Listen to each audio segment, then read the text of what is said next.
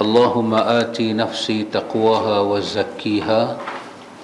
أنت خير من زكاها أنت وليها ومولاها. أما بعد.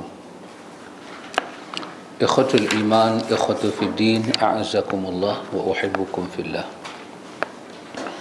الحمد لله ثم الحمد لله الحمد لله إخوة الإيمان kita sambung majlis ta'lim kita. Kita sampai pada muka surat 85 yalah bab yang ke-6 iaitu iman kepada Nabi Muhammad sallallahu alaihi wasallam. Itu bab kita masuk beriman kepada Nabi Muhammad. Dengan Nabi Muhammad kita tidak bertauhid. Bertauhid hanya kepada kepada Allah. Maka Nabi Rasul ini kita guna perkataan beriman. Meyakini. Meyakini tentang risalah dan nubuah. Risalah bermakna apa dia? Risalah bermakna wahyu yang turun pada dia. Nubuah. Wassalam. dia diangkat menjadi nabi. Dia ada nubuah. Diberi kepada dia nubuah kenabian. Diberi pangkat kenabian Baik, ikhwatul iman, kita tengok. Muhammad Rasulullah yang kita nak imani di sini iaitu uh, Muhammad itu adalah Rasulullah. Dia mendapat risalah, dia utusan Allah. Rasul bermakna utusan. Risalah bermakna isi daripada kerja yang dia kena bawa. Risalah. Dia membawa risalah. Dia membawa uh, isi daripada menjadi rasul itu apa? Kerja dia.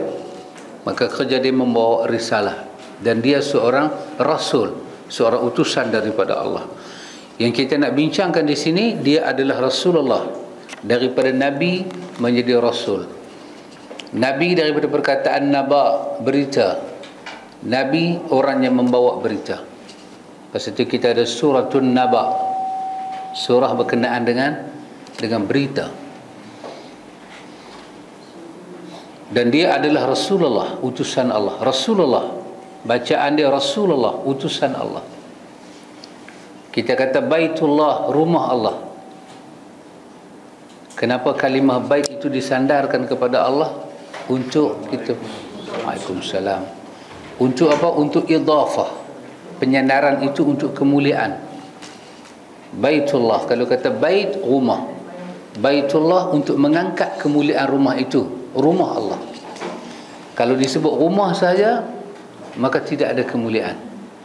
Bila dikata rasul tidak ada kemuliaan lagi. Maka dikatakan Rasulullah idafah kepada Allah li ta'zim disandar kepada Allah untuk menunjukkan kemuliaan pengagungan. Maka baginda adalah Rasulullah. Baginda adalah utusan Allah. Baik muka surat 85 beliau adalah ini uh, kita belajar nama nabi yang sebenar kita belajar keturunan nabi. Beliau adalah Abu Qasim Muhammad. Abu Qasim Muhammad bin Abdullah bin Abdullah bin Abdul Muttalib bin Hashim bin Abdul Manaf bin Qusay bin Kilab bin Murrah bin Ka'ab bin Luway bin Ghalib bin Fihrin bin Malik bin Nadar bin Kinana bin Khuzaimah bin Mudrika bin Ilyas bin Mudar bin Nizar bin Ma'ad bin Adnan. Maka dia kata Adnan sampai pada Adnan. Assalamualaikum. Warahmatullahi Adnan adalah salah satu putra Nabi Allah Ismail bin Ibrahim Al-Khalil. Jadi keturunan Nabi sampai kepada silsilah Nabi Nabi Ismail dan Nabi Ismail itu daripada keturunan Nabi Nabi Ibrahim alaihi salam. Adapun para ulama sirah juga menyebut keturunan Nabi selepas daripada Adnan mereka juga menyebut keturunan Nabi selepas daripada daripada Adnan. Adnan bin Udan bin Hamaisa bin Salaman bin Aus bin Buz bin bin Qamwal bin Ubay bin Awam. Sampai-sampai Nabi Ibrahim. Kata para ulama kata para ulama sirah kata para ahli sirah wal ansab. Ini nama tokoh-tokoh yang mengkaji tentang sirah dan nasab Nabi. Dia berkata ada pun selepas daripada adenan adenan bin apa kesemua itu tak dapat disahihkan lagi dah. Tak dapat disahihkan.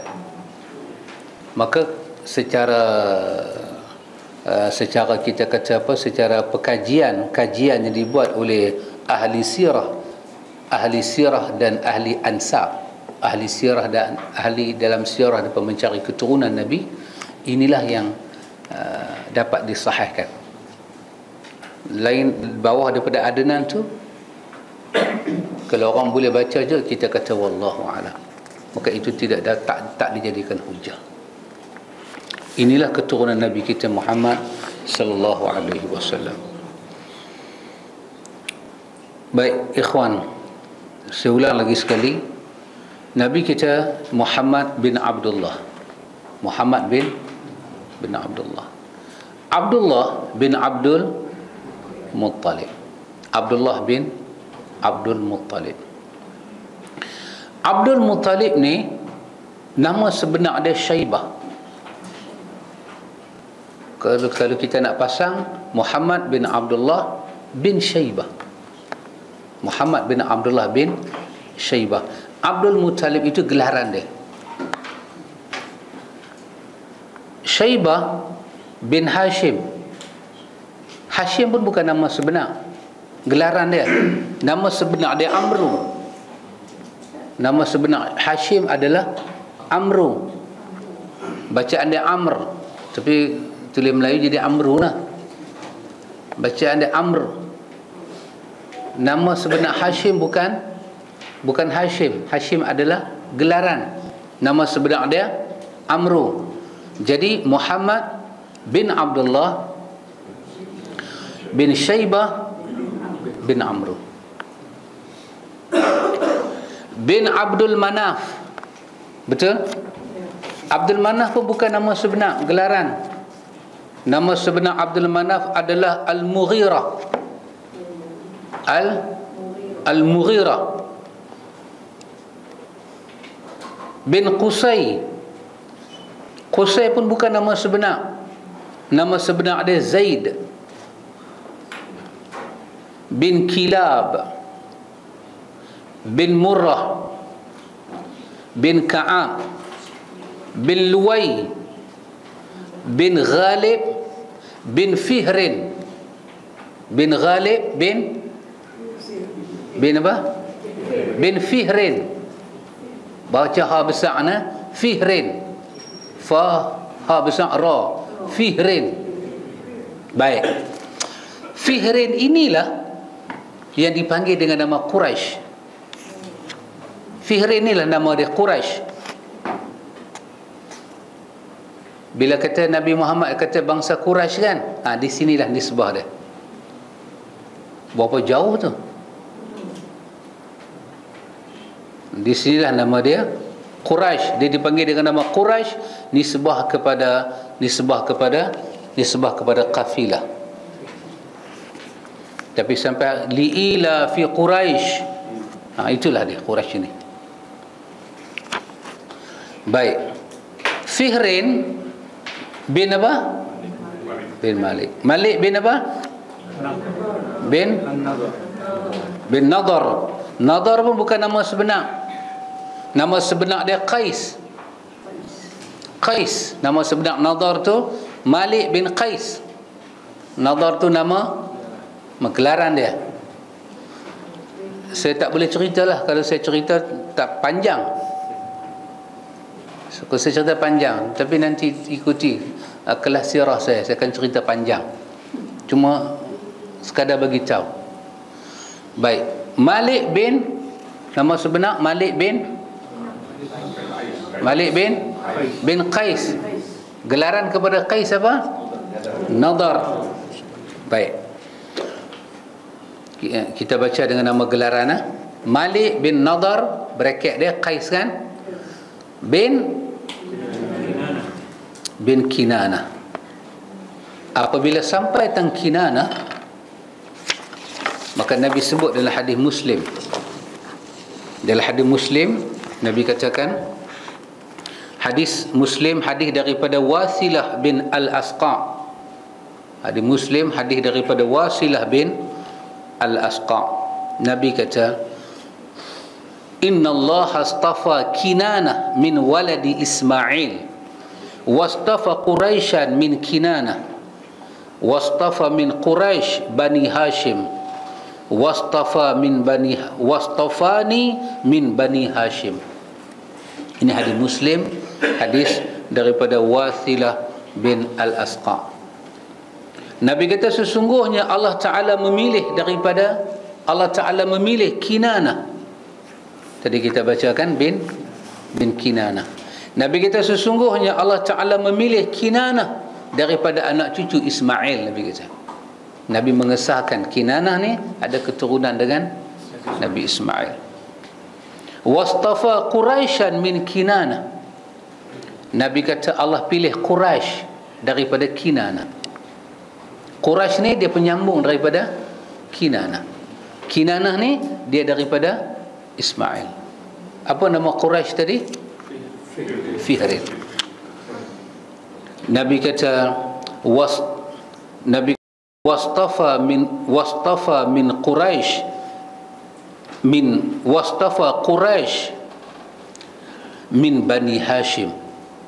Manakala Allah manakala Allah pilih Quraisy Allah pilih daripada Quraisy itu untuk sambung keturunan dia daripada Bani Hashim. Hashim itu penyambung kepada kepada Quraisy Nabi kata wastafani min Bani Hashim dan Allah pilih aku untuk menyambung keturunan Bani Bani Hashim.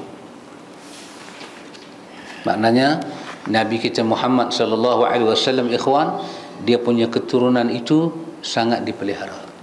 Sangat dipelihara. Baik. Kinana bin apa? Bin Khuzaimah. Khuzaimah bin Mudrika betul? Mudrika Mudrika pun bukan nama yang sebenar nama sebenar dia Amir. Nama sebenar kepada Mudrika adalah Amir. Bin Ilyas bin Mudar bin Nizar bin Ma'ad bin Adnan. Ini adalah keturunan Nabi kita Muhammad sallallahu alaihi wasallam baik ikhwan. Saya nak sebut dua. Satu saya nak sebut Hashim dan Abdul Muttalib. Pasal tu yang agak dekat kan Hashim dan Abdul Muttalib. Baik, saya katakan tadi Nabi kita Muhammad nama dia Muhammad bin Abdullah bin Abdul Muttalib. Bin Abdul Muttalib bin Hashim. Baik. Hashim ni ikhwan, kita ambil Hashim. Kerja mereka sebagai siqayah dan rifadah. Dia meneruskan daripada Abdul Manaf lagi. Keturunan dari uh, dia sampai kepada Abdul Manaf. Apa kerja dia apa? Siqayah dan rifadah. Iaitu apa dia? Memberi minum jemaah haji yang masuk ke ke Mekah dan bagi makan uh, Hashim ni dia punya perangai ni di, memang diambil daripada tok dia tok nenek dia yang kita panggil dengan nama Abdul Abdul Muttalib tadi. Apa nama? Abdul Manaf tadi. Dia ambil keturunan daripada Abdul Manaf. Abdul Manaf tu bapak dia lah. Betul? Apa nama sebenar Abdul Manaf? Ha? Al-Mughirah Al-Mughirah. Maka tak. Abdul Manaf. Oh, Ustaz tanya perkataan Abdul Manaf tu datang daripada mana? Ustaz saya cerita Hashim dulu saya saya masuk. Dia ambil kerja bapak dia siqayah dan rifadah. Siqayah bagi minum bagi jemaah haji minum dan rifadah bagi dia pemakan. Pendek kata melayan lah orang masuk ke ke Mekah. Ini dibuat daripada Abdul Manaf lagi Abdul Manaf. Dia sambung kerja pak dia. Nama dia apa tadi? Syaibah. Nama Hashim adalah? Betul ya? Amru. Amru. Tak aja setiap maka. Ha, jangan elemen balansi jangan lari ya. kita tak ikut ustaz, kita ikut fakta. Betul lah? Ha, ikut fakta. Baik. Nama Hashim tadi adalah Amru. Dia buatlah kerja ni orang masuk ke Mekah bagi makan semua. Satu hari Hashim ni dia daripada Mekah dia pergi ke Madinah. Dia pergi Syam pergi berniaga. Pergi berniaga. Li ila fi quraish ila fihim. Rihlat asyita'i was-saif jadi kerja uh, rihlah ketika musim sejuk dan musim panas ni memang daripada Quraisy lagi. Daripada Fihrin lagi. Tengok-tengok keturunan Rasulullah ni dia macam tu. Bila mai musim ni dia pakai berniaga di Mekah. Bila tukar musim dia masuk ke Yaman dia pergi ke Syam untuk berniaga daripada Syam dia nak balik ke Mekah dia singgah ke ke Madinah. Bila sampai di Madinah dia duduk saat di Madinah. Hashim dia duduk saat di Madinah. Dia kahwin. Dia kahwin di Madinah. Dia kahwin di Madinah dengan dengan satu perempuan dipanggil perempuan itu dengan nama Salma. Salma. Nama dia Salma. Hmm, Salma binti Amru. Dia kahwin dengan satu perempuan nama Salma binti binti Amru. Salma binti Amru ni seorang daripada Bani Adi Bani Adi bin Najar hiduplah situ. Hasil perkahwinan dia Allah subhanahu wa ta'ala kurniakan kepada dia anak. Allah bagi kat dia anak. Anak dia nama Syaibah. Anak dia nama Syaibah. Bila dilahirkan anak dia kecil lahir tu ada ada satu uh, uh, putih apa? What we say in Malay eh? uban uban uban uban. Uban kan jadi Salma ni bubuh dalam nama anak dia Syaibah. Pasal mengenangkan budak-budak jarang beranak beruban kan? Ni tak tahu uban penyakit ke apa tak tahu lah tapi ada uban maka Syaibah tu maksud dia uban. Apa nama anak Syaibah? Dalam dalam sirah kata uh, dia dapat anak. Uh, anak laki-laki dia nama Asad. Nama uh, Abu Abu Abu Saifi nama Nadlah dan Abdul dan Syaibah anak perempuan pula dia pun nama Syifa Khalidah dan dan Da'ifah Raqiyah dan Jannah. Tak ingat tak apa. Tak keluar empat isu pun. Saja saya baca. Saja lepas tu dia pergi ke Syam. Dia sambung. Summa kharaja ila Syam. Dia pergi ke Syam. Bila dia pergi ke Syam dia sambung meniaga dia dengan kehendak Allah Subhanahu wa taala famata Hashim bil Gaza min ardi Palestin dia mati di di Gaza Hashim ni dia mati di di Gaza di kawasan Palestin maka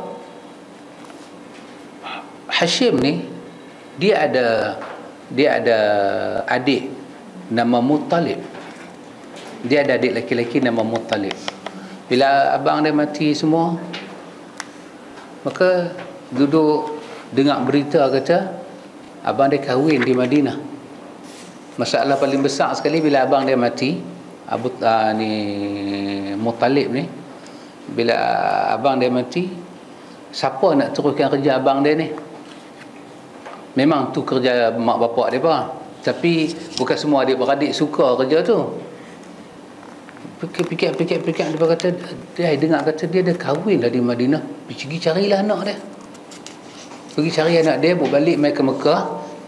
Suruh anak dia sambunglah kerja ni semua. Tengok belah-belah kita ni tak berkenan lah semua anak kerja ni. Maka uh, abang dia ni hak nama apa? Mutalib ni kan dia pergi ke Madinah. Jumpa Salmah binti. Salmah binti? Amru. Nanti Amru. Tak tahu main habak kata Ni abang ipak siapa? Tak terkejut.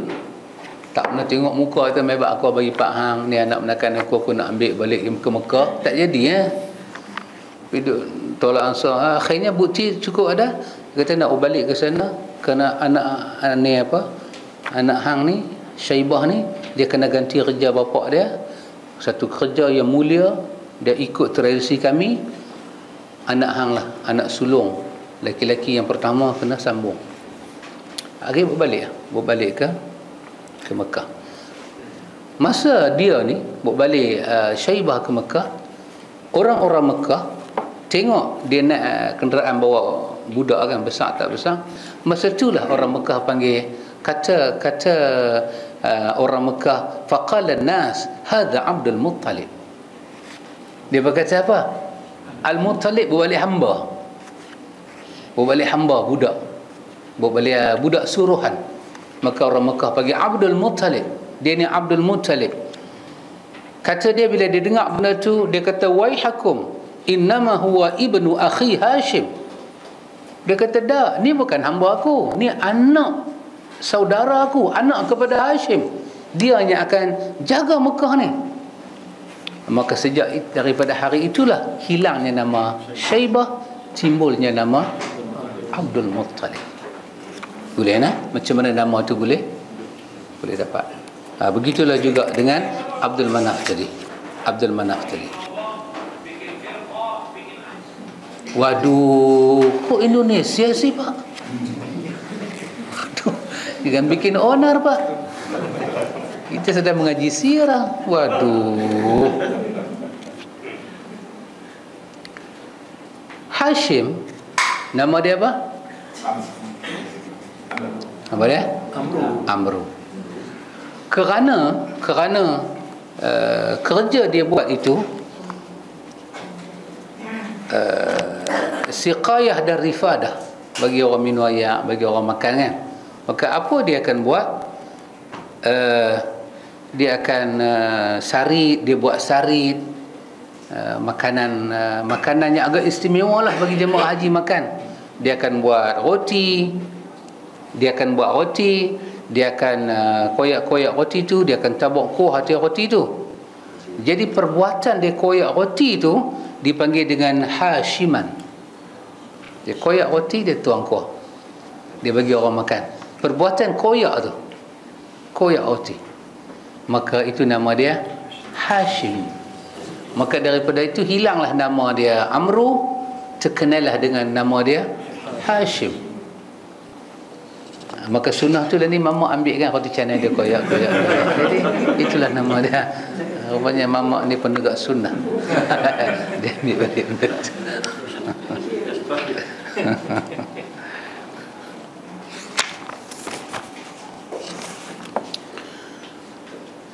Wallahu ta'ala alam hanya Allah ta'ala yang maha mengetahui ikhwatul iman kata Imam uh, Ibn Qayyim dalam kitab sirah dia bernama Jami'us Sirah Ibn Qayyim menulis satu kitab sirah nama dia Jami'us Sirah dan kata Dr. Akram Dhiya Al-Umuri dalam kitab dia Sirah Nabawiyah As-Sahihah Sirah Nabawiyah As-Sahihah yang sahih Dr. Akram Al-Dhiya Al-Umuri. Mereka kata ulama uh, tarikh hanya dapat memastikan yang pertama baginda dilahirkan di Mekah satu secara sahih. Kedua baginda dilahirkan pada tahun gajah. Ini yang para ulama sirah dapat uh, suatu apa suatu kesepakatan. Dan baginda dilahirkan pada hari Isnin seperti hadis riwayat Imam Muslim daripada Abi Qatadah. Abu Qatadah menceritakan tentang uh, suila suila Nabi an saum saumul itsnain ditanya Nabi pasal apa? Nabi puasa hari Isnin. Maka Nabi kata zalika yaum wulidtu fi. Hari Isnin hari aku dilahirkan wa yauma bu'istu hari aku dibangkitkan ataupun hari wahyu diturunkan pada aku jadi Nabi tidak puasa hari Isnin kerana hari lahir dia sahaja. Tidak tidak. Tapi kerana hari besar. Hari dia dibangkitkan dan hari wahyu diturunkan. Jadi agak tak benar kalau kita kata Nabi Muhammad puasa hari Senin kerana hari itu hari lahir dia sahaja. Tidak. Sebab dia tidak habis pada hari itu saja. Dikaitkan dengan wahyu. Dikaitkan dengan wahyu. Jadi kalau kita nak puasa hari beranak kita mesti kaitkan dengan wahyu baru kita boleh puasa hari beranak kita. Ha? hari ini pun saya dapat wahyu juga. Ah, so you boleh puasa lah. Kalau you tak tak dapat wahyu so you duduk dendiam you duduk dendiam you puasa Isnin you puasa Khamis cukup. Itu dapat dipastikan. Dr. Akram Adhiya Al-Umuri juga seperti Imam Ibn Qayyim dalam Jami'ul Sirah mereka membawa beberapa pandangan para ulama Uh, tentang tarikh Nabi dilahirkan.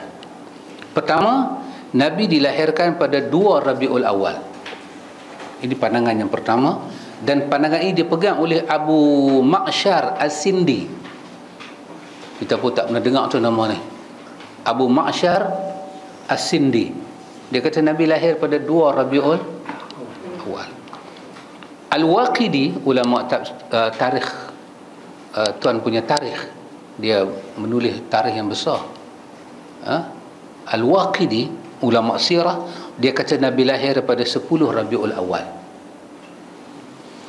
Ibnu Ishaq Ibnu Ishaq menyatakan Nabi lahir pada 12 Rabiul Awal.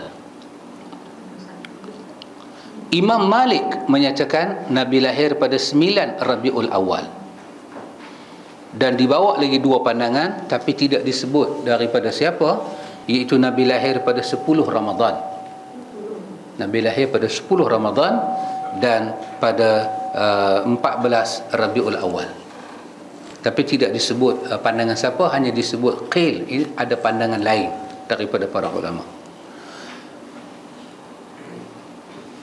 Dr. Akram dia pada pandangan peribadi dia Dr. Akram dalam kitab dia Sirah Nabawiyah As-Sahihah dia berpandangan dia nampaknya macam bersetuju dengan uh, Ibnu Ishaq Nabi lahir pada 12 Rabiul Awal. Dia macam bersetuju. Tetapi Imam Ibn Qayyim kata kesemua itu hanyalah ra'yul ulama bukannya dalil. Tak ada satu dalil menyebut Nabi lahir pada tarikh apa. Hari ada Tiap-tiap minggu kita jumpa Isnin, Isnin, Isnin, Isnin. Maka tidak ada satu dalil daripada Nabi menyatakan Nabi lahir pada hari apa. Dan saya ingat pandangan yang lebih baik ialah ialah masalah dia Nabi yang lahir hari apa dia dia tahu lah. Nabi lahir hari apa? Isnin. Berapa hari bulan Nabi tak abang. So kita nak buat apa? Buat selotip lah. Dia sengah Tuan mempunyai kelahiran Dia berkata dia beranak hari Senin Habis Senin Berapa bulan Dia sengah Tuan punya badan sengah Tiba-tiba Tuan punya nyawa nak bercakap. Ah, jangan. Jangan. Dia bukan kelahiran kita. Kelahiran Nabi. Maka kalau dilihat dari segi kenyataan para ulama sirah, maka tidak ada satu tarikh yang tepat. Imam Malik uh, mengaitkan sembilan itu dengan uh, fakta falak. Falak, ilmu falak. Uh, balik pada tarikh Nabi tahun gajah, Nabi lahir tahun gajah disepakati dan tidak pernah ada tarikh tahun gajah yang jatuh Isnin 12 Rabiul Awal tidak ada flashback kepada kepada tarikh pun itu bukan satu kajian yang bukan sahabat duduk dengan Nabi ikhwan antara Imam Malik dengan sahabat. Baik sahabat lagi dekat. Tapi tak ada seorang sahabat begitu tarikh so itu menjadi makna kepada kita. Benda tu tak perlulah. Tak perlu ambil tahu tak perlu ambil tahu jadi benda tu biarlah dia hilang lagu tu. Yang pentingnya hari Isnin adalah hari kelahiran Nabi. Sudah cukup. Nabi orang dilahirkan di Mekah, Nabi dilahirkan tahun gajah dan Nabi dilahirkan pada hari ini yang sahih. Ini yang sahih. Adapun tarikh-tarikh tadi tak ada satu yang sahih. Jadi bila tak ada satu yang sahih, suhu. Untuk apa? Tak ada. Para ulama sirah kata Imam Imam Ibn Qayyim sangat menarik dalam Jami'us Sirah dia sangat menarik dia hanya letak dalam kitab Jami'us Sirah dia benda-benda yang ada fakta. Benda tak ada fakta dia tinggalkan. Eh, seperti kata Muhammad Al-Ghazali dalam kitab dia Fiqhus Sirah Muhammad Al-Ghazali kata kelahiran Nabi tempat Nabi lahir tahun Nabi lahir keturunan Nabi semuanya menjadi hujah dalam risalah dia. Maka apa-apa yang penting untuk risalah ini Tuhan sendiri akan muatkan.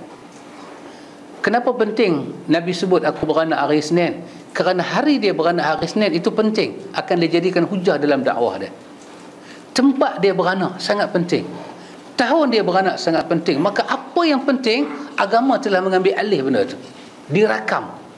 Nas Nabi lahir hari Isnin jelas sahih Muslim.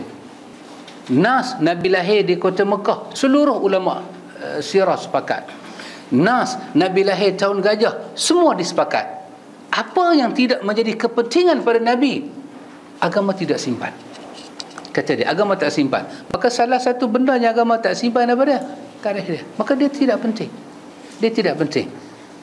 Dan tidak ada pun musuh-musuh Islam ataupun orang yang sayang kepada Nabi uh, mengambil tarikh itu sebagai simbol uh, apa-apa. Tak ada tak ada. Cuma eh, simbol itu menjadi suatu akhir zaman. Akhir zaman punya orang itu begitu penting yang tidak menjadi kepentingan umat-umat awal. Kata Imam Ibn Qayyim dan kata Dr. Akram Adhiya Al-Umuri dalam kitab dia dia kata kesemua kisah-kisah uh, bagaimana Nabi dilahirkan benda-benda pelik Nabi dilahirkan kesemuanya itu tidak dapat disabitkan daripada nas yang sahih. Maka itu semua terdapat dalam dua nas. Sama ada dia dhaif jiddan ataupun dia maudhu dia ada di situ salah satu.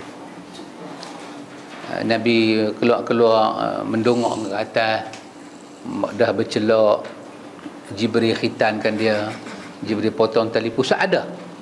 Ada disebut dalam riwayat tetapi kesemuanya tak ada satu riwayat yang yang sahih. Tak ada.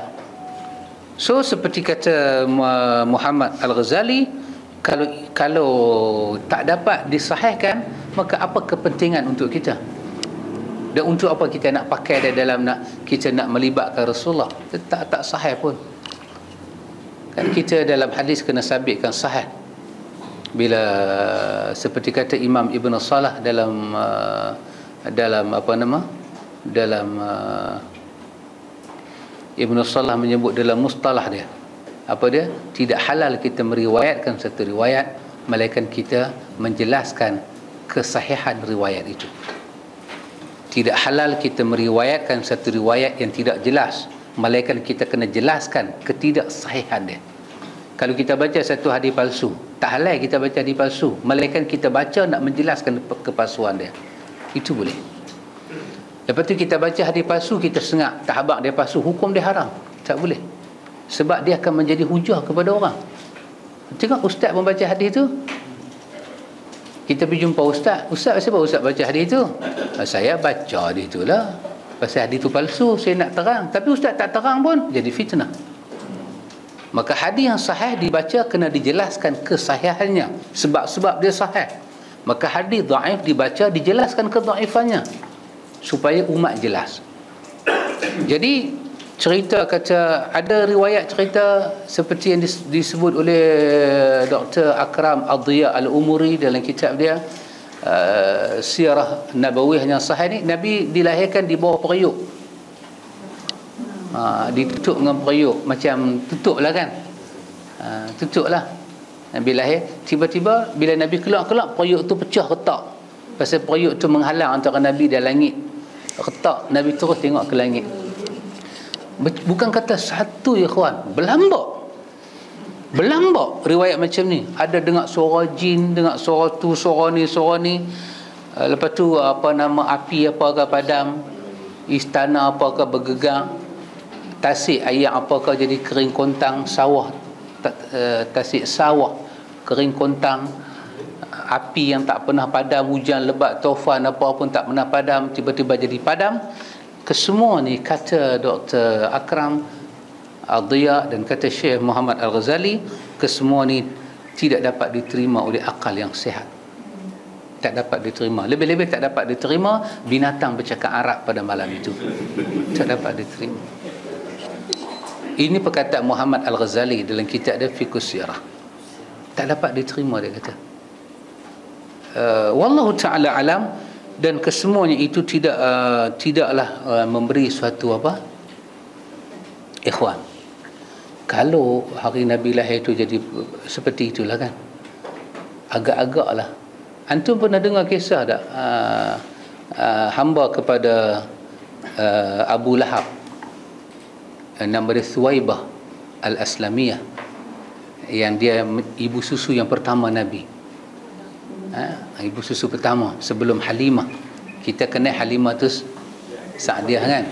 Walaupun itu juga dipertikaikan oleh ulama sirah tapi bila lahir Nabi Muhammad Suhaibah ni lah pergi kepada tuan dia Abu Lahab. Begitu uh, kau dapat anak menakan lagu ni dia punya seronok lah sampai dia merdeka kan Suhaibah. Kan? Maknanya ikhwan orang yang pertama tahu kata Nabi lahir dengan dengan keistimewaan adalah Abu Lahab. Tetapi sepanjang Nabi berdakwah tidak pernah Nabi angkat keistimewaan itu untuk mengajak Abu Lahab kepada Islam. Kata wahai pak saudara saya, hari itu bukankah hang sonok sangat hang merdeka hang? Bukankah hari itu hang nampak dengan jelas aku keluar dalam keadaan sujud? Bukankah aku dah bukankah aku mengejutkan umat? Aku dikhatankan. Kenapa Nabi guna seluruh pekakas untuk dakwah tapi yang ni Nabi tak guna. Menunjukkan apa? Menunjukkan dia tidak ada. Kalau ada pasti Nabi guna. Pasti apa? Orang dekat dia. Orang dekat. Kongkong Abu Talib. Abu Talib. Ayah tak, tak tahu ke macam mana eh api disembah di mana sana? Apa itu? Majusi. Ha. Nabi dilahirkan di di Mekah. Itu di majusi masa itu di mana? Parsi ya? Iran kan? Sikit jauh ke Saudi dengan Iran? Api di sana padam. Macam mana orang Parsi boleh tahu ada hubungan dengan orang Mekah? Mekah ada wasiat masa tu kalau if benda tu ia hakikat itu akan dijadikan hujah. Itu lebih mudah daripada pi belah bulan. Itu lebih mudah daripada Isra Mi'raj. Hampa-hampa nak lawan aku pasal apa? Bukankah api itu padam? Uh, siapa beranak api padam? Kalau Nabi dalam dakwah Abu Bakar ke sahabat-sahabat boleh defend. Hampa-hampa tu tentang dia pasal apa at least Hamzah boleh tegur abang-abang dia. Kenapa buat begini pada dia? Bukankah satu benda khitan ni khitan. Keluar-keluar dah berkhitan. Disebut dalam riwayat tapi tidak sahih. Itu satu contoh besar. Hamzah boleh kata pada abang-abang dia Nabi keluar berkhitan. Mau bukti apa lagi? Dan kebetulan masyarakat masyarakat khurafat memang dia masuk sinonim dengan benda-benda lagu tu. Okeylah khitan okeylah tolak. Unta bercakap Arab takkan itu tak mengejutkan manusia. Taklid Allah ya Allah. Nak fikir tolak kan? Tapi Quran menyatakan dia tolak juga. Dia kata Nabi gila dia kata Nabi sihir dia kata Nabi pecah belah masyarakat tak ada satu ungkapan. Kami tahulah saya usul Hang Muhammad. Abu Bakar boleh petik jari. Ya. Kenapa tak tahu? Perayuk ke tak? Kata Muhammad Al-Ghazali kesemuanya ini uh, tak dapat diterima dengan dengan kewarasan. Tak dapat diterima dan sememangnya riwayat-riwayat seperti itu adalah riwayat yang tidak tidak sahih. Ikhwan selama nabi kita hidup Allah Subhanahu wa taala takdirkan uh, hidup dia uh, lebih kurang uh, sebelah orang wanita yang menjadi tulang belakang dia. Sebelah orang wanita yang menjadi tulang belakang dia. Khadijah binti Khuwailid. Khadijah binti Khuwailid. Nama besar. Sehingga kan Abdullah bin Abbas Abdullah bin Abbas menyatakan tentang Khadijah binti Khuwailid bila mengingatkan Khadijah Ibnu Abbas dia akan kata dia kata kanat Khadijah binti Khuwailid awalu man amana billahi wa rasulihi wa saddaqa Muhammadan sallallahu alaihi wasallam fi ma jaa bihi an rabbih wa azarahu ala amrihi. Abdullah bin Abbas kata adalah Khadijah binti Khuwailid adalah orang yang pertama beriman pada Allah dan Rasul. Orang yang pertama membenarkan Muhammad orang yang pertama membenarkan wahyu yang turun daripada Tuhannya kepadanya dan orang yang pertama menolong urusan agamanya maka Khadijah binti Khuwailid adalah orang wanita yang berada dalam hidup hidup Nabi. Yang kedua Saudah binti Zam'ah. Saudah binti binti Zam'ah. Dia orang yang kedua, wanita yang kedua yang mendampingi hidup hidup Nabi. Nama-nama ni jangan lupa ya kawan. Kadang-kadang nama dia ketinggalan, bubuhlah balik. Nama sahabat ada anak-anak kita ke kan daripada kita duk duk tukar nama tu campur nama Korea nama Jepun dia keluar satu nama tak tahu bangsa apa jadi bangsa Sakai punya nama yang kedua Saudah binti Zam'ah yang ketiga Aisyah binti Abi Bakr yang keempat Habsah binti Umar Al-Khattab ini wanita-wanita yang hidup dengan Nabi yang kelima Zainab binti Khuzaimah Zainab binti Khuzaimah. Zainab Khuzaimah yang sahabat Nabi. Ya. Zainab Khuzaimah yang sahabat Nabi Khuzaimah. Anak dia Zainab. Ada ada ada lain. Ha, lain. Lain. Yang keenam Ummu Salamah binti Abu Umayyah. Ummu Salamah binti Abu Umayyah. Yang ketujuh Zainab binti Jahshin. Yang ke-8 Juwairiyah binti Al-Harith. Yang ke-9 Safiyah binti Huyai. Yang ke-10 Ummu Habibah binti Abu Sufyan. Yang ke-11 Maimunah binti Al-Harith. Ini yang dapat di dapat dikesan mereka ini menjadi pendamping Nabi pendamping Nabi. Ada uh, apa? Uh, ya ini apa? Nabi punya jariah kan yang bernama apa? Uh, Maria Al-Qibtiyah. Ha, ini ya, zaman hari itu ada hamba kan? Itu termasuk dalam hamba yang dihadiahkan kepada Nabi. Adapun yang kita sebut nama-nama ni ini mengikut sistem dahulu Nabi memiliki depa dengan cara cara masa hari itu cara pernikahannya yang ada pada pada masa hari itu ikhwatul iman kita ikhwatul iman mengetahui uh, tentang nasab Nabi kita Muhammad sallallahu alaihi wasallam dan uh, kita ambil tahu satu dua perkara berkenaan dengan Nabi. Pertama untuk kita tahu rasul yang kita imani bagaimana pemeliharaan Allah kepada dia. Setiap daripada ummahatul mukminin ini yang disebut dalam surah uh, al-ahzab uh, isteri kamu itu adalah wa azwajuhu ummahatul mukminin isteri engkau Muhammad adalah ibu kepada orang-orang yang beriman. Maka semua orang yang menjadi isteri Nabi mereka adalah ibu pada orang-orang yang yang beriman.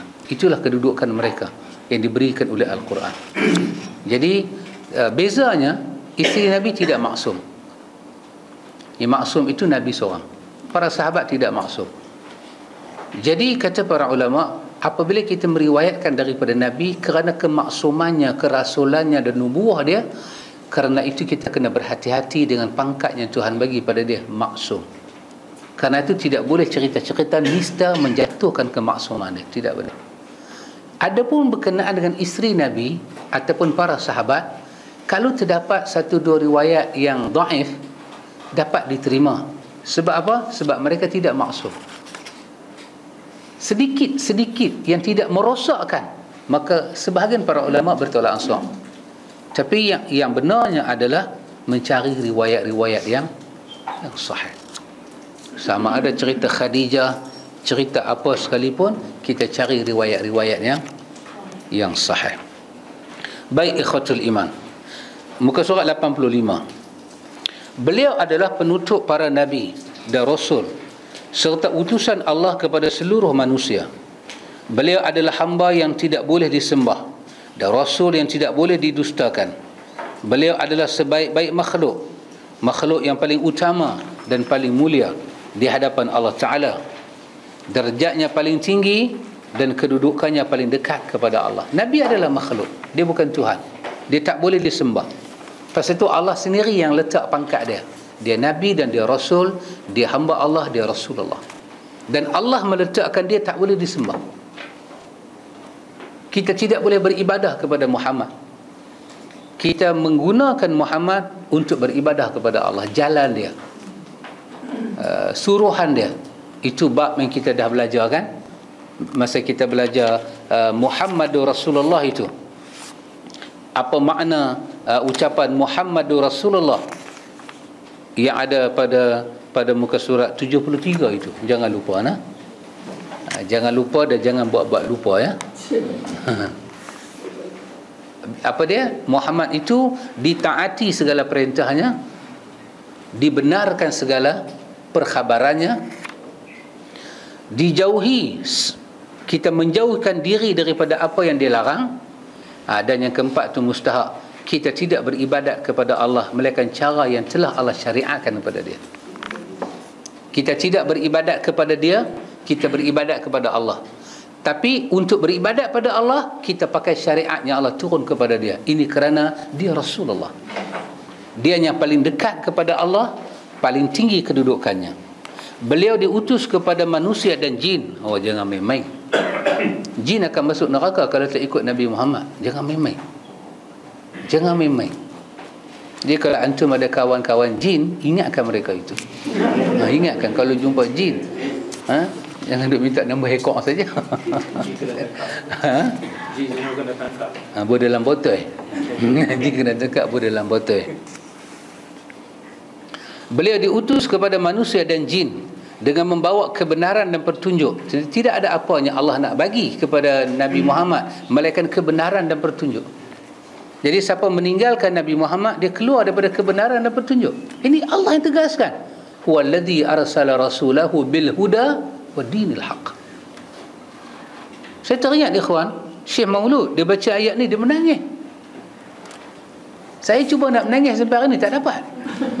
Tak boleh. Tak apa-apa yang dia faham. Dia kata Allah dengan tegas menyatakan dia yang mengutuskan Muhammad bil huda wa dinil haq. Dengan hidayah dan kebenaran. Bagaimana kau boleh tinggal Muhammad? Kebenaran apa yang kau nak? Hidayah apa yang kau nak Sedangkan Tuhan telah menyatakan dia utuskan Muhammad dengan huda dan dinil haq. Jadi di luar sana kata dia, di luar sana kau hiduplah masyarakat yang mereka tidak boleh membawa jalan mereka kepada Muhammad. Mereka keluar daripada hidayah dan dinil haq. Mereka di atas kesesatan. Mereka batilan bukannya petunjuk. Jadi apa saja amal kita ikhwan yang kita boleh buktikan ini daripada Nabi. Dia ada dia punya apa? Pertalian dia dengan Nabi. Sahih dia daripada Nabi. Jangan takut ikhwan. Kita di atas al-huda dan dinil haq. Tapi syaitan dia akan yuwaswisu fi sudu nas. Minal jinnati wan nas. Dia akan fuh duk tiup. Tiup. Yalah sahih kan tapi kita orang awam. Allahu akbar tiup. Fuh. Fuh. Kan bila Pak Ji Bakhir duk marah kan Labi buat tu. Fuh. Fuh. Dia, dia perangat. Dia perangat. Cuba balik tengok balik. Sebagai ulang kaji pelajaran. Hmm, kan? Eh, Pak Ji marah, Pak Ji Bakhir duk marah kat Cikgu Murni punya bapak kan. Dia buat tu. Dia perasak kawan tu lagi. Ini kerja setan. Kerja setan. Izinkan saya kata sepatah ikhwan, izinkan saya kata sepatah. ada badui masuk ke masjid Nabi kencing. Betul? Dari riwayat ini ada riwayat yang yang sahih. Sorry to say my brother and my sister muslimah. Apa pandangan antum? Ada orang masuk masjid dan kencing. Dia ni apa punya adab? mah? Cuba tu duduk saya fikir. Dia masuk-masuk dia boleh pergi fire. Antum fikir tak? Dari segi atika kehidupan, zon pemikiran, dia punya minda ni berada kelas ke berapa? Kalau minda kotak pemikiran ada 10, lagu ni punya tabiat, antum nak buat nombor berapa? Kita timbul paling bawah sekali, betul tak? Sikit punya minda, ini bukan minda kelas pertama. Ini bukan orang yang berminda tinggi, ber-IQ tinggi. Ini mesti tak makan kurma ataupun kismis jampi ni. Terlautuk pemikiran dia. Tetapi ikhwan, serendah itu dia punya level pemikiran, dia boleh faham apa Nabi kata. Lepas daripada dia buat silap. Dan dia seorang badui. Bila sahabat nak pergi buat lebih kurang kepada dia, Nabi kata jangan-jangan. Da'uhu. Biar dia perhabis lepas apa dia nak lepas. Nabi kita pergi ambil ayat seember. Dan tuang ayat di atas tu. Lepas tu Nabi gamik dia. Nabi kita ni masjid. Usah kencing dah. Nak kencing pergi ke tempat kencing. Oh ya ke? Dia angguk-angguk. Okey. Lepas ni aku tak kencing dah dalam masjid. Nabi tak kata apa ikhwan.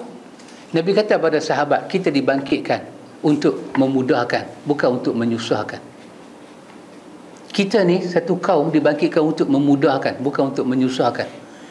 Dia faham. Terus dia kata aku tak pernah jumpa satu guru seelok ni. Kalau perangai dia elok mesti ajaran dia elok. Nabi tak kata dekat Umar Umar ah, dia ni agama orang awam kita orang bukan awam. Biar ambillah orang awam punya label. Nabi tak cakap begitu agama ni sama ya kawan paras ukuran agama sama. Yang buat jadi tak sama ni manusia. Bukan agama.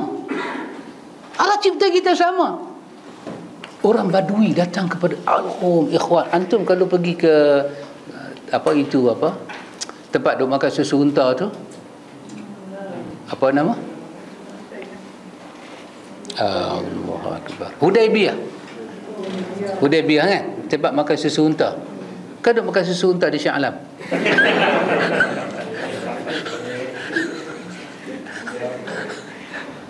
Kan? Kita pakai di sana kan?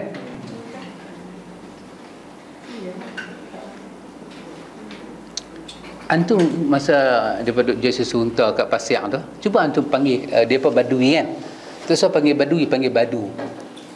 Badu. Antum tengok apa dia nak buat Hina lah tu. Itu hina. Bad, Badui kalau kita panggil dia badu Dia naik angin lah. Mak kita betul-betul letak dia tak ada kelas tu. Ha, Jangan main-main kan? Ha. Baik. Ini orang badui datang kepada Nabi. Satu soalan dia tanya. Dal- dalam hadis muslim kan?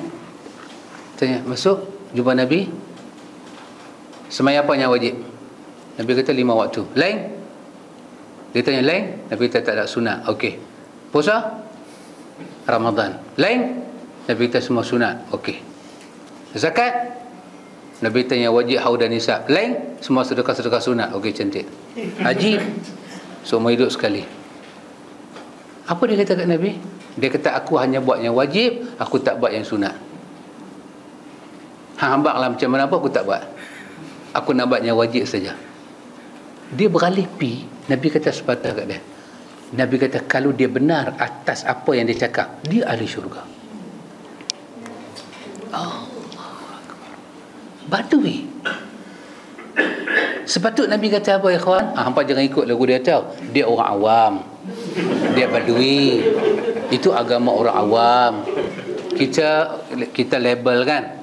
Kita label tinggi. So dia memang tak faham lagu tu. Nabi kata kalau dia cakap benar, dia ahli syurga. Mai 20 orang budak muda belajar dengan Nabi daripada luar Madinah. Duduk dengan Nabi 20 hari. Dalam hadis Bukhari duduk-duduk begitulah begini beginilah masuk hari ke-21 dekat-dekat 21 hari kan Nabi tengok ada yang termenung rindu-rindu ke kampung halaman macam kita kan bila main nas tengah termenung dia ni baca ke tak baca petang ni termenung kan? Kita termenung lah. Kan kita main kuliah tak nampak tak tengok termenung kita. Jadi lagu tu? Apa Shima buat lagu macam mana? Habis, sendiri macam mana? Termenungku sendiri. Menangisku sendiri. Oh, semua ni baca Quran ha? Shima buat lagu kan teringin. Balik cuba homework balik tengok. Pun bila mai lebih pada 20 hari rindu. Nabi kenal dia apa Nabi kata sudahlah tak usah duduk lebih daripada ni. Mereka adalah bukan orang Madinah. Orang hulu kampung. Apa Nabi kata? Sallu kama ra'aitumu. Itulah hadis keluar tu. Sallu kama ra'aitumuni usalli Nabi kata balik ke kampung hampa semayang sebiji macam mana aku semayang. Jangan buat macam lain. Dia pun duduk 20 hari bukan 4 tahun. Kita duduk universiti 4 tahun. Lepas tu tak lulus lagi tambah lagi jadi 5 tahun. Tak lulus jadi 6 tahun. Orang kata guru kami lama mengaji 10 tahun. Tak lulus 10 kali lama lah bukan lama tu pandai sedih. Duk tak lulus duk pergi menega macam mana nak lulus dia duduk 20 hari. Nabi iktiraf mereka sebagai mubalik pendakwah Nabi. Ya Allah ikhwan Agama apa Nabi bawa ni? Itu sangat mudah dan payah. Tapi bila mai dekat kita Nanti saat Nanti saat. Saya kalau terang pun Tuan-tuan bukan boleh faham Sebut apa? Why I must may waste my time ha? So So you orang awam You tak boleh faham. You tak perlu dalil. Ha, Baca baca kitab Baca kitab Baca kitab. Ha, Ikut saja. Jadi antum tengok Baginda di, membawa petunjuk ya kawan tak mungkin tak mungkin saya orang miskin ada petunjuk ber, berkelas miskin. Antum orang berada petunjuk kelas berada mungkin ikhwan orang di sawah sana petunjuk jenis sawah. Kita hak duduk tinggi mengaji tinggi menara gading petunjuk. Tidak mungkin. Petunjuk milik Allah. In petunjuk milik milik Allah. Inna alaina lal huda wa inna lana lal akhirata wal ula. Sesungguhnya hidayah milik kami. Kami yang pegang hidayah. Allah bagi semua sama hidayah maka tengok Allah kata apa? Yang diutus oleh Allah sebagai rahmatan lil alamin sebagaimana firman Allah wa ma arsalnaka illa rahmatan lil alamin. Allahu akbar. Siapakah daripada makhluk Allah yang boleh keluar daripada makna alamin? Alam ini plural daripada alam. Alam bermakna makhluk ciptaan Allah. Tak ada Allah buat bagi ada. Alamin dia plural dan tidaklah kami cipta kami utuskan engkau melainkan menjadi rahmat bagi sekalian alam. Semua orang Nabi layan sama. Cara Nabi layan sama. Bagi penjelasan tentang agama sama. Tidak ada kelas. Inilah agama yang benar ikhwan. Pasal itu kalau kita belajar agama duk pisah-pisahkan kasta-kasta kita yakin ini bukan daripada Allah dan Rasul. Ini telah dimodify kita tak mau yang ni. Jadi kita tak mau tak ada agama tidak ada kelas. Sama. Apa itu? Dalam surah hujurat ya ayuhan nasu inna khalaqnakum min dhakarin wa unsa wa ja'alnakum syu'uban liqabaila lita'arafu. Ah itulah. Inna akramakum indallahi attaqakum. Tak mungkin ikhwan. Yang mulia di sisi Allah adalah yang bertakwa. Jadi tak mungkin ada kelas dan kasta. Tidak tidak tak mungkin. Tak mungkin saya lebih bertakwa daripada antum. Antum lebih bertakwa daripada saya. Itu dari segi apa? Mujahadah ketakwaan. Bukan tak takwa antum lain takwa saya lain. Tidak tidak tidak. Al-fadhil ni takwa dia lain macam sikit. Ha, yang bukan al-fadhil ni takwa uh, kelas ni lah sedang diri lah sikit kan. Kelas bawah sikit. Tidak mungkin tidak mungkin tidak mungkin. Tidak tidak tidak tidak. Siapa mati pun menerak masuk dalam tanah marabuka kan ini orang biasa-biasa dia bukan tahu agama sangat kan. Dia tanya marabuka apa yang dia tahu? Jadi ini semua sesuai untuk al-fadhil. Al-Fadil ma rabbuka? Man rabbuka? Tidak. Semua orang mati akan ditanya soalan yang sama. Inilah ikhwan. Allah Ta'ala menurunkan kitabnya kepadanya memberi amanah padanya atas agamanya dan menugaskannya menyampaikan risalahnya. Allah melindungnya dari kesalahan dalam menyampaikan risalah ikhwan agama amanah apa Allah bagi kat Nabi menyampaikan agamanya agama yang huda dan al-haq dalamnya ada huda dan al-haq Kemudian dalam menyampaikan risalah tugas dia Allah pelihara dia daripada kesalahan. Tidak ada kesalahan ikhwan. Dia nak cari siapa macam ni ikhwan? Allah yang bagi penjelasan tentang dia. Allah kata, "Wa ma yantiqu 'anil hawa in huwa illa wahyun yuha." Tidaklah diucapkan. Yang diucap itu Quran menurut kemahuan nafsunya, ucapannya itu tidak lain hanyalah wahyu yang diwahyukan. Ahlu sunnah wal jamaah mengimani bahawa Allah Taala mendukung menguatkan nabinya sallallahu alaihi wasallam dengan mukjizat-mukjizat yang nyata dan ayatnya sangat jelas. Allahu akbar. Allah bagi mukjizat kat dia. Allah bagi mukjizat kat dia. Tak ada orang dapat mukjizat. Dan bagi penjelasan yang sangat nyata di antara mukjizat terbesar dan yang ter, di antara mukjizat-mukjizat tersebut dan yang terbesar adalah al-Quran. Yang dengannya Allah mengemukakan tantangan kepada umat yang paling fasih dan paling mendalam bahasa serta paling mampu bermantik. Dengan turunnya Al-Quran dengan turunnya Al-Quran oh, maka Allah cabar. Siapa tidak percaya dengan Al-Quran? Sangat dahsyat sangat dahsyat Al-Quran ini mempunyai mukjizatnya sangat dahsyat sangat dahsyat. Mukjizat terbesar setelah Al-Quran dengannya Allah menguatkan nabinya sallallahu alaihi wasallam adalah mukjizat Isra dan Mi'raj iaitu dibawanya Nabi Muhammad oleh malaikat Jibril pada satu malam dari Mekah ke Baitul Maqdis kemudian ke langit sampai ke Sidratul Muntaha dan beliau melakukan Isra dan Mi'raj dengan ruh dan jasadnya dalam keadaan sedar juga mukjizat-mukjizat lainnya. Allahu akbar semua ni ikhwan kita himpun duduk setempat habis nak ikut siapa lagi habis Pasal itu kena ingat ni sebagai akidah kita. Inilah. Ini ini Allah bagi kat dia. Bukan pergi betapa atau mana-mana. Allah bagi. Allah bagi kat dia. Allah. Tak tahu lah ikhwan. Saya tak tahu lah. Hmm. Kalau ini tak boleh buat jiwa kita bergetar, apa lagi? Nak terang apa lagi? Kenapa kita ikut Muhammad? Pasal Allah kata dia Rasulullah. Pasal apa kita ikut Muhammad? Quran kata dia rahmat lil alamin. Saya nak sembahyang macam rahmat lil alamin. Saya nak puasa macam rahmat lil alamin. Saya nak berakidah macam rahmat lil alamin. Apa masalah awak dengan saya? Seperti seluruh umat sama dengan rahmat lil alamin. Dan Quran kata tidak ada benda yang Muhammad cakap tentang tentang tentang Allah yang keluar daripada hawa nafsu. Allah lindung, maksum. Adapun kita bercakap kadang-kadang tentang agama, nafsu pergi dulu, nas pergi belakang. Tu orang tua-tua ada pantun dia apa? Bukan pantun. Bukan pantun. Ah, Dia macam teka-teki, dia bukan teka-teki. Dia macam apa tu tu? Ha, peribahasa kan? Apa? Macam mana tu? Jarum jarum pergi dulu benang kok belakang. Jarum pergi dulu. Benang kok belakang. Ke benang pergi dulu jarum main belakang? Ha, Jarum pergi dulu kan? Ha, kalau benang pergi dulu nak cucuk tak mana? Jarum pergi dulu. Ha, sepatutnya jarum pergi dulu. Benang pergi kok belakang. Ya, wahyu dulu. Wahyu adalah acuan. Dia letak pada kita acuan. Nak semayang, nak akidah wahyu daripada langit. Dan wahyu tu apa dia? Kalam Allah. Kalam Allah. Kita dah miss dalam sini, ikhwan.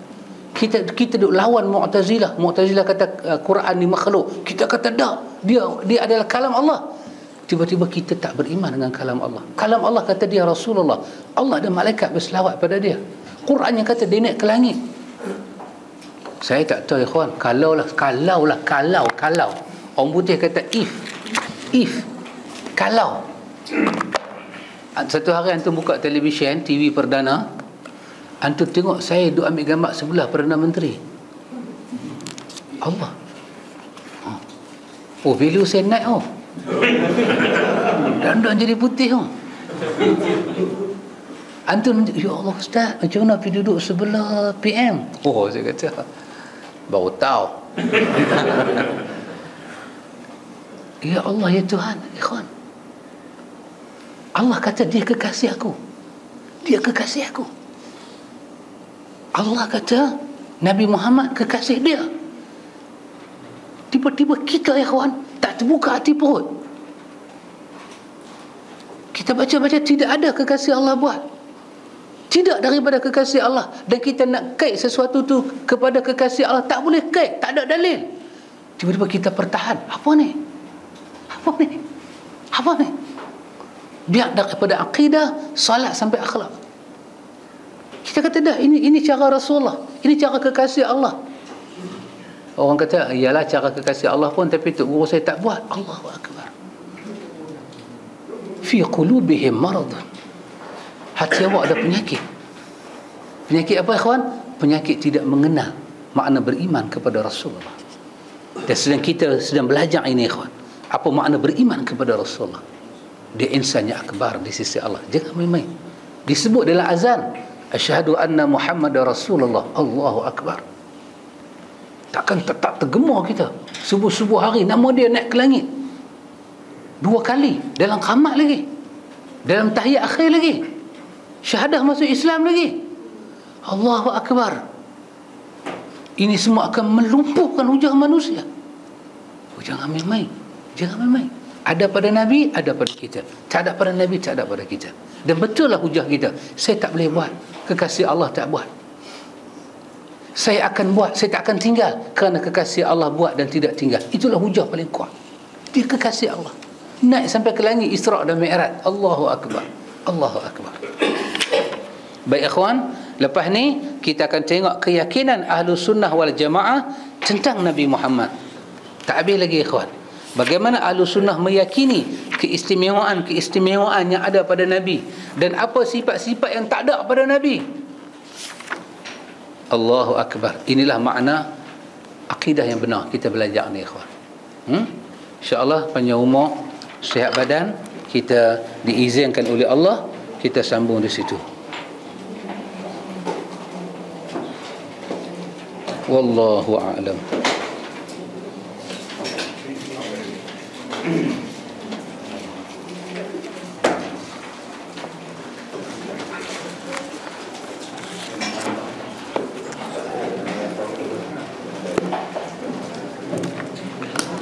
سبحانك اللهم وبحمدك أشهد أن لا إله إلا أنت أستغفرك وأتوب إليك